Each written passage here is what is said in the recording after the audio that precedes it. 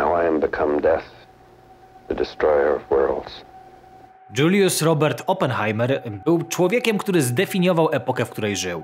Jego wpływ na świat współczesny jest trudny do przecenienia. Gdy pierwsza bomba atomowa eksplodowała na pustyni w Nowym Meksyku w roku 1945, z jego ust padły słowa zaczerpnięte z hinduskiej księgi Bhagavad Gita: Stałem się śmiercią, niszczycielem światów. Ten cytat stał się synonimem skomplikowanej relacji między nauką a etyką, pomiędzy potęgą wynalazków ludzkich a ich potencjalnymi konsekwencjami. W dzisiejszym odcinku chciałbym przybliżyć Wam postać Oppenheimera, starając się zrozumieć człowieka, który stoi za tymi słowami i jaki wpływ miał na kształtowanie się naszej współczesnej rzeczywistości. Robert Oppenheimer, jako postać o wielkim znaczeniu historycznym i naukowym, nie mógł uciec przed reflektorami popkultury. Choć najbardziej znany jest oczywiście z prowadzenia projektu Manhattan i stworzenia pierwszej bomby atomowej, jest również często ukazywany jako skomplikowana postać z głębokimi dylematami moralnymi. Filmy, książki, a nawet przedstawienia teatralne z lat po II wojnie światowej często skupiają się na tym, jak mierzył się z konsekwencjami swojego dzieła.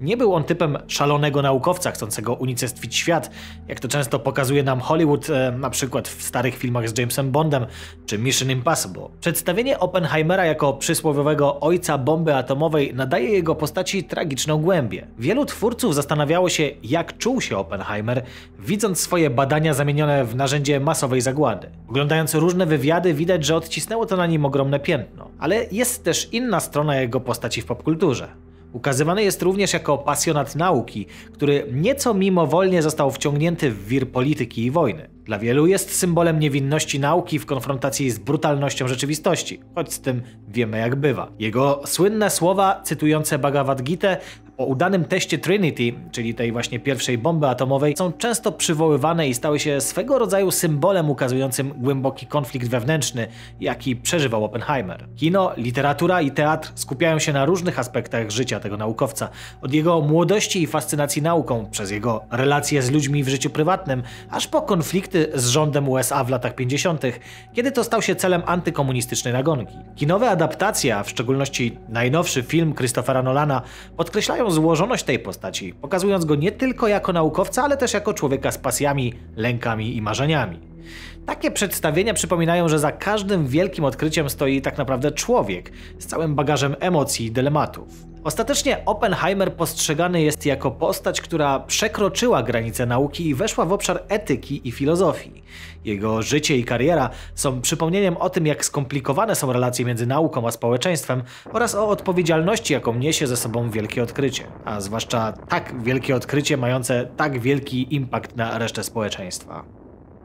Jednak zanim stał się przysłowiowym ojcem bomby atomowej, wniósł znaczący wkład w naukę o czarnych dziurach, o czym niestety bardzo często się zapomina. Przed wyruszeniem do laboratorium Los Alamos w Nowym Meksyku w 1942 roku, aby zostać dyrektorem projektu Manhattan, Oppenheimer był wybitnym teoretycznym fizykiem skoncentrowanym na fizyce kwantowej oraz pionierem badań nad czarnymi dziurami. W roku 1939 on i jego kolega z Uniwersytetu Kalifornijskiego Hartland S. Snyder opublikowali pionierską pracę zatytułowaną o ciągłym skurczu grawitacyjnym która używała równań teorii grawitacji Alberta Einsteina, aby pokazać, jak mogą powstać czarne dziury. Jest to bardzo znaczący model, ponieważ można go rozwiązać analitycznie.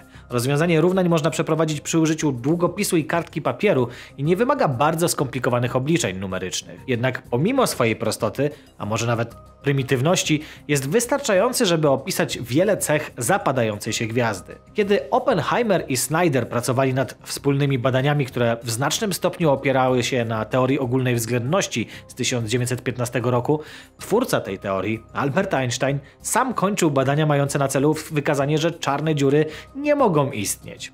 Jak pokazała historia, to Oppenheimer i jemu podobni mieli rację. Osiem lat przed teorią Oppenheimera o zapadaniu się gwiazd i narodzinach czarnej dziury, inny teoretyczny fizyk zastanawiał się, co dzieje się, gdy gwiazdą kończy się paliwo do syntezy jądrowej. Gdy to paliwo się wyczerpuje, gwiazda nie może już oprzeć się sile oddziaływania grawitacyjnego. Ciśnienie, które wytwarza się we wnętrzu jądra gwiazdy, nie jest w stanie przeciwstawić się potężnej sile grawitacji wynikającej z masy tego jądra. Podczas gdy zewnętrzne warstwy gwiazdy są zrzucane, jej rdzeń szybko się kurczy, zostawiając pozostałości, których charakter zależy od masy całej gwiazdy. Indyjsko-amerykański fizyk Subramanian Chandrasekhar zdał sobie sprawę, że dla rdzeni gwiazd o masie mniejszej niż 1,4 masy Słońca skurcz grawitacyjny zostanie zahamowany przez efekty kwantowe siły, które utrzymują jądra atomowe w całości. Granica ta stała się znana jako limit Chandrasekhara, a każda gwiazda poniżej tego limitu, no chyba że ma towarzyszącą jej gwiazdę dostarczającą jej dodatkową materię, jest skazana na zakończenie swojego istnienia jako biały karzeł. Taki będzie też los naszego Słońca, o wyczerpaniu wodoru w jego wnętrzu za około 4,5 miliarda lat. W roku 1916, służąc na froncie w niemieckiej armii podczas I wojny światowej, astronom Karl Schwarzschild dostał do ręki egzemplarz teorii ogólnej względności Einsteina. W tych niesamowicie trudnych warunkach Schwarzschildowi udało się obliczyć dokładne matematyczne rozwiązanie równań ogólnej teorii względności. Były w nich dwie niepokojące rzeczy miejsca określane przez Schwarzschilda jako osobliwości, gdzie założenia fizyki, jaką wówczas znano, całkowicie się rozpadały. Te osobliwości wskazywały na istnienie obiektów o grawitacji tak intensywnej, że mogłyby dosłownie połykać światło. Jedna z osobliwości została uznana za osobliwość współrzędnych i stała się znana jako promień Schwarzschilda, punkt, w którym grawitacja ciała staje się tak wielka, że prędkość potrzebna do ucieczki jest większa niż wynosi prędkość światła, a więc niemożliwa z naszej perspektywy do osiągnięcia. Obiekt mniejszy niż objętość wynikająca z jego promienia Schwarzschilda nazywany jest właśnie czarną dziurą. Powierzchnia wyznaczona przez promień Schwarzschilda spełnia rolę horyzontu zdarzeń. Ani światło, ani żadne cząstki, ani żadna informacja nie mogą uciec przez tę powierzchnię z obszaru wewnątrz, stanowiącego czarną dziurę.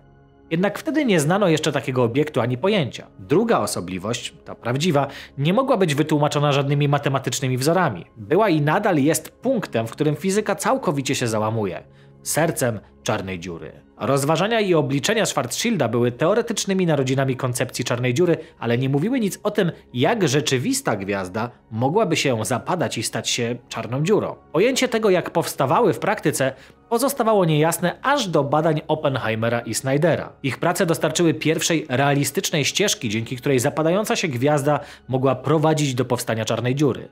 Argumentowali, że jeśli gwiazda o masie znacznie większej niż nasze Słońce wyczerpie paliwo jądrowe, jej ciężki rdzeń mógłby skurczyć się pod naciskiem własnej grawitacji, przechodząc przez serię coraz bardziej egzotycznych stanów, aż w końcu osiągnąłby punkt, w którym nie miałby innej opcji jak tylko stać się czarną dziurą.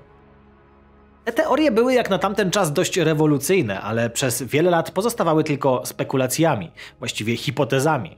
W rzeczywistości w czasach Oppenheimera wielu naukowców, w tym sam Einstein, wyrażało wątpliwości co do fizycznej realności takich obiektów jak czarne dziury. Jednak w ciągu kolejnych dekad obserwacje astronomiczne zaczęły dostarczać dowodów na istnienie tych tajemniczych obiektów. Potwierdzając założenia naukowców w latach 60. i 70. XX wieku, dzięki postępowi w technologii teleskopów i obserwacji w zakresie promieniowania promieniowania rentgenowskiego, astronomowie byli w stanie zidentyfikować kandydatów na czarne dziury w naszej własnej galaktyce. Były to obiekty, które emitowały ogromne ilości energii, ale nie były widoczne w świetle widzialnym.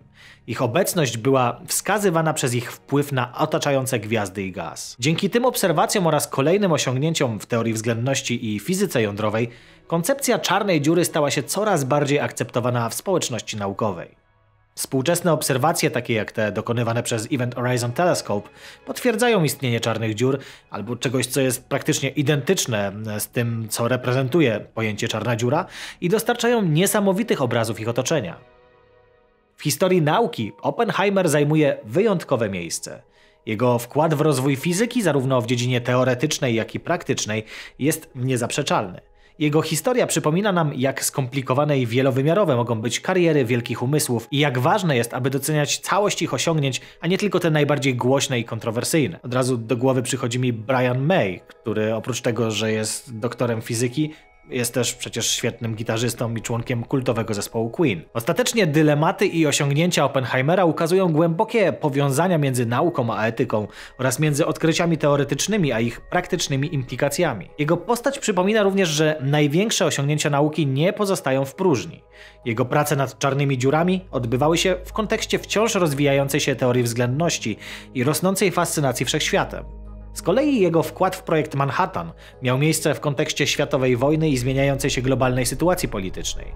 To napięcie między teorią a praktyką, między czystą nauką, a jej zastosowaniami, jest jednym z najbardziej fascynujących aspektów życia Oppenheimera. Jego kariera jest dowodem na to, że nauka nie jest oddzielona od społeczeństwa, które ją otacza. W rzeczywistości naukowcy, ich odkrycia i decyzje mają głęboki wpływ na kształt naszego świata.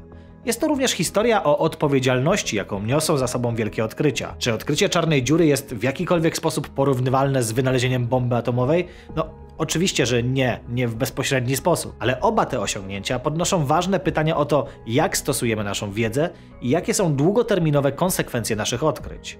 W miarę jak rozwój technologii i nauki postępuje, stajemy przez coraz to nowszymi wyzwaniami etycznymi. Czy powinniśmy manipulować genami, aby zapobiec chorobom? Czy powinniśmy eksplorować kosmos w poszukiwaniu życia i nowych miejsc do zamieszkania? Jakie są moralne implikacje sztucznej inteligencji? Historia Oppenheimera jest idealnym przykładem pokazującym nam, że odpowiedzi na te pytania nie są proste i że musimy podejmować trudne decyzje, mając na uwadze zarówno dobro ludzkości, jak i potencjalne zagrożenia. Robert Oppenheimer jest jedną z tych postaci historycznych, które nadal prowokują do rozmyślania. Jego życie, osiągnięcia i kontrowersje służą jako przestroga przed tym, że postępy naukowe nie zawsze idą w parze z postępem moralnym. W świecie, w którym nauka ma coraz większy wpływ na nasze życie, lekcje płynące z życia Oppenheimera są dziś bardziej aktualne niż kiedykolwiek. Są symbolem zarówno potęgi ludzkiego intelektu, jak i moralnych wyzwań, jakie stawia przed nami postęp naukowy. Ostatecznie to, jak pamiętamy Oppenheimera jako ojca bomby atomowej, czy jako pioniera teorii czarnych dziur, zależy od nas. Ale jedno, czego na pewno uczy nas jego historia, to fakt, że nauka w jej najszlachetniejszej formie zawsze dąży do zrozumienia i doskonalenia naszego świata, nawet jeśli prowadzi nas w nieznane. A z drugiej strony warto zastanowić się, czy możemy tak bezrefleksyjnie mówić o tym, że jest to tylko narzędzie, że to od nas zależy, czy wykorzystamy je dobrze czy źle. Podobnie jak z nożem, możemy użyć go do posmarowania chleba albo wiadomo do czego. Czy jednakowoż zawsze potrzeba tworzyć dany nóż? To jest pytanie do Was, moi drodzy, i napiszcie w komentarzach, co Wy na ten temat sądzicie. I czy podobał Wam się nowy film Christophera Nolana o Oppenheimerze? A my widzimy się w kolejnych odcinkach. Do zobaczenia, trzymajcie się i cześć.